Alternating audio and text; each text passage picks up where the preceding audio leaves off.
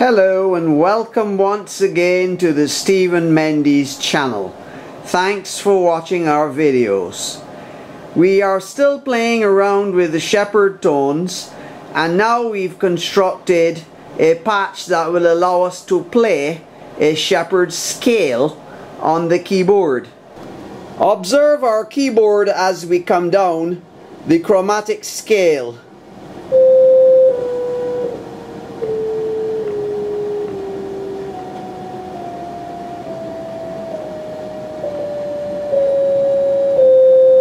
Notice we've gone from the C sharp to the C and it's actually gone lower.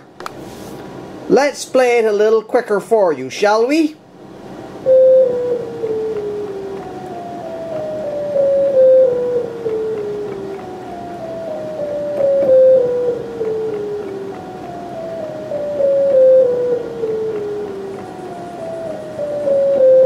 So what's different about this patch than the other ones that we were doing with the Shepard scale, with the Shepard glissando. Let us see, we have the same two oscillators and once again they're set an octave apart as you can see here. One is set to 8 foot, the other is set to 16 foot.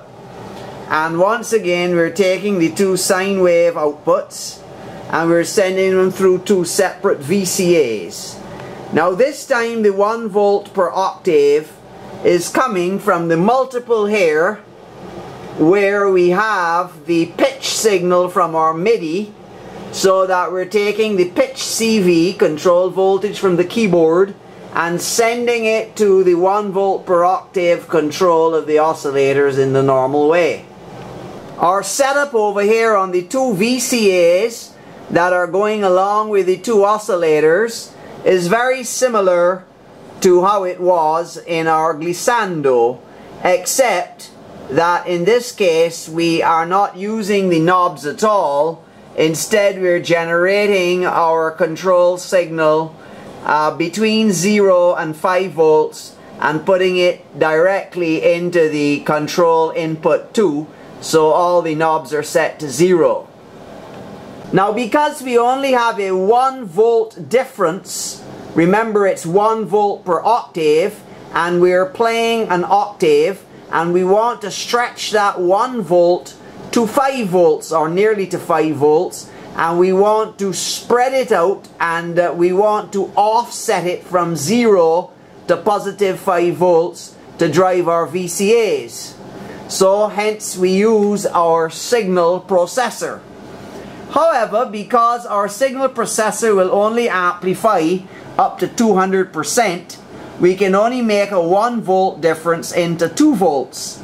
And as you can see, it's maxed out there at the 200% and we've got the offset at minus 5 so we're working with maximum offset and then we're taking the output of that and we're sending it into the lower half in order to invert it you notice that we have our switch set to invert and um, that reverses the direction of the the um, the signal but we have to offset it some more. As you can see we've got that offset swung fully over the other way to plus 5 volts because we want our final signal to be always above zero we can't have it going down below zero. We just want one to go from 5 to 0 and the other one to go from 0 to 5.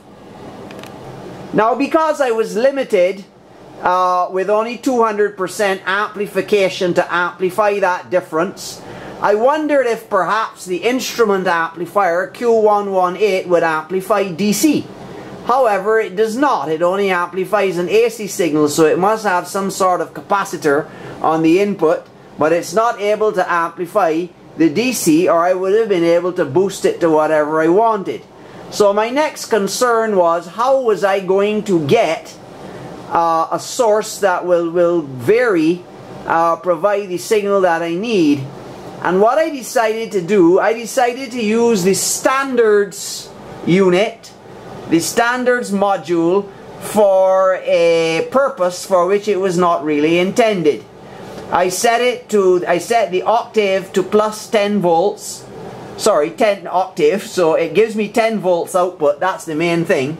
I'm getting a positive 10 volt output from the standards module. You can see it coming out here and that orange cable at the output. And the toggle switch is set to plus, the semitone to zero, and the octave to plus 10 volts. So we're taking our 10 volt signal and we're putting it into another VCA.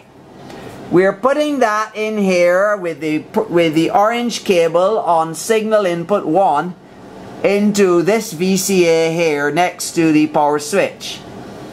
And uh, what we have in here now essentially is we are sending our CV signal coming from the MIDI module into the control input 1 and we have the control number 1 level. We can't have it right over to the full 10 as you can see it's going to 8.8 .8 there. 8.8 so what is happening is that that is also amplifying the change of 1 volt going into the control into 2 volts because we have the 10 volts coming in. So every 1 volt change in the control signal causes a 2 volt change in the output. So we take the output from that VCA and we feed it into the input of our signal processor. So that allows us to get just a tad over 4 volts change uh, where we would have loved to go from 0 to 5 across the octave but that was not possible with the system I had here. So I just got a 2 volt change in the VCA and a 2 volt change in the signal processor which gave us uh, a total uh, control signal change of, of, of just over 4 volts. And so we are we now have the two signals coming from the signal processor and having the offset set. So one is actually climbing from 0 to 5 volts as we go up the scale and the other one is actually falling from 5 volts back to 0 as we go up the scale. Or vice versa as we come down the scale one is climbing from 0 to 5 volts in one VCA and falling from 5 volts to 0 in the other VCA, well it's not actually 5 volts, I got it like 4.5 coming down to half a volt.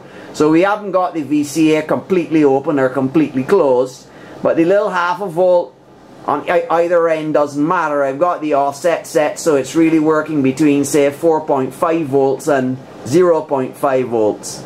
So the same identical patch is will give us both the ascending Shepard scale and the descending Shepard scale.